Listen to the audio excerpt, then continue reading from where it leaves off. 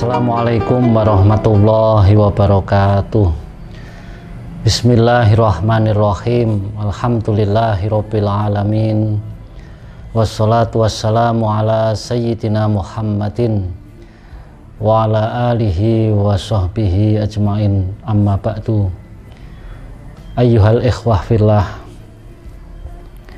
An Ka'bi bin Malik radhiyallahu anhu anna Rasulullah sallallahu alaihi wasallam qala man talabal ilma liyumariya bihi sufaha au yukabiru bihi ulama au yasrifa bihi wujuhan nasi ilaihi adkhalahullahu naro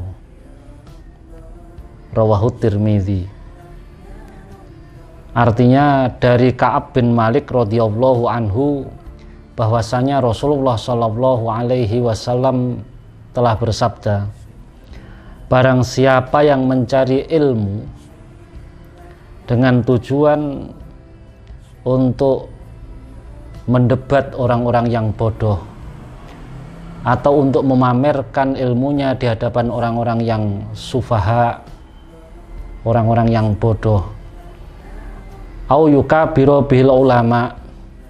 Ayunadhiro bihil ulama. Untuk mendebat dengan orang-orang alim.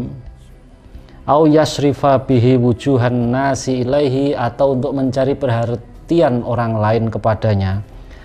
Adkhalahullahu naro. Maka Allah akan memasukkannya ke neraka.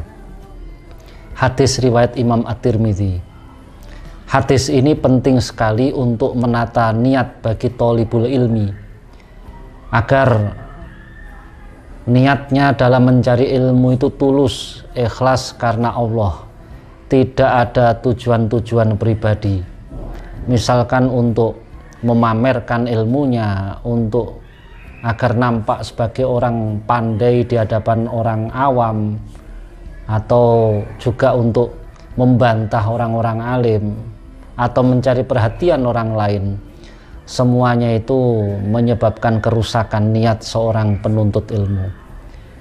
Jika penuntut ilmu tidak bisa memperbaiki niatnya maka naru maka Allah akan memasukkannya ke neraka. Sia-sia dia menuntut ilmu. Demikian semoga ada manfaatnya. Assalamualaikum warahmatullahi wabarakatuh.